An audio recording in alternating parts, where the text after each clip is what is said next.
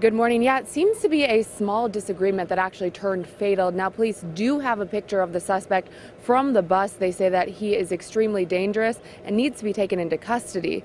Take a look. This is the man that police are looking for. They say that he shot and killed 35 year old Kenneth Pointer while he was riding the Metro bus Saturday night around 9 p.m. Now, police believe that the argument started after one passenger bumped into the other one on the bus.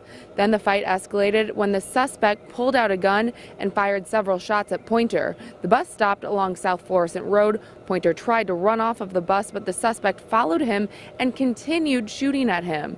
Police would also like to talk to this woman who was on the bus. She is the only person that was not at the scene when officers arrived. They believe that she may be a witness or a person of interest, but officers say that right now it is critical to find the shooter. Our main focus is that we're looking for this suspect. We've sent out the pictures and we're hoping that someone out here knows who this is and can positively ID him. We need to get this individual in custody immediately. He is considered extremely dangerous. Now, Metro did put out a statement sending their condolences to the family, saying that Pointer was a regular rider. Crime Stoppers is offering up to a $5,000 reward for a tip leading to an arrest in this case. You can call or email Crime Stoppers. That number is 1 866 371 TIPS.